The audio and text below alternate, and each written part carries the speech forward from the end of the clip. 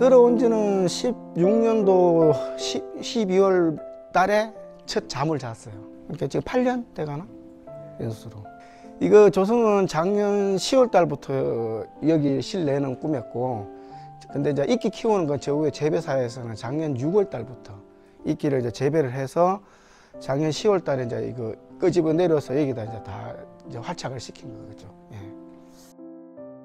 수입이 바로 안 나니까 이제 그게 문제였지만 뭐 지금은 좀 낫죠 옛날보다는. 이끼 같은 거 애들 체험도 시키러 다녔고 만들기도 했었고. 이런 것도 만들어 놓으면 사람들 겁나게 좋아합니다.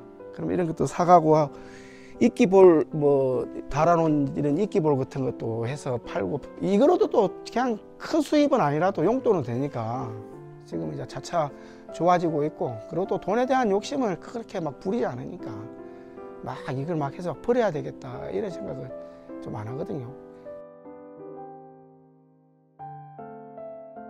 저는 이제 이 공간에 저 혼자 쓰기는 너무 보기는 또 아깝고 이제 목적이 저는 누구나 여기 쉬어가는 공간으로 이 지리산을 보는 전망이 이렇게 좋은 곳이 잘 없으니까 개인 땅에 근데 개인 땅이지만 개인 혼자 보기는 너무 아까우니까 그냥 누구나 아무 때나 좀 쉬어가는 곳 아무나 와서 쉬어서 가고 힐링도 할 수 있는 공간 그 공간으로 만들고 싶어요 저는 지금 우리 도에서 그걸 이제 민간 정원을 지정해 준다 하는데 뭐 될 수만 있다 하면 민간 정원으로만 되면 이 산 전체적인 것을 싹 개방, 개방해 가지고 우리 지역 사람만이라도 전국에 누구나 그냥 와 가지고 숲속에서 뭐 치유도 하고 또 힐링도 하고 쉬었다 가고 그런 공간으로서 다 개방하고 싶어요.